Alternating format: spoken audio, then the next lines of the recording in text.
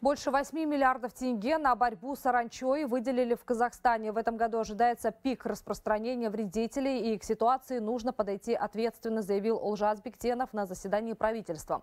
Профильному ведомству он поручил мобилизовать дополнительные ресурсы, определить очаги распространения насекомых и провести химическую обработку. Затронул премьер и другие вопросы, связанные с сельским хозяйством. В частности, заявил, что субсидии между аграриями необходимо распределять справедливо. Они должны расширять возможности сельчан и увеличивать объем продукции, а не становиться доходом крупных игроков отрасли. Еще одна важная тема – обеспечение фермеров поливной водой, особенно в южных регионах страны. В этом году общая посевная площадь в Казахстане составит почти 24 миллиона гектаров. Чтобы сэкономить воду, упор планируют сделать на масличные и кормовые культуры.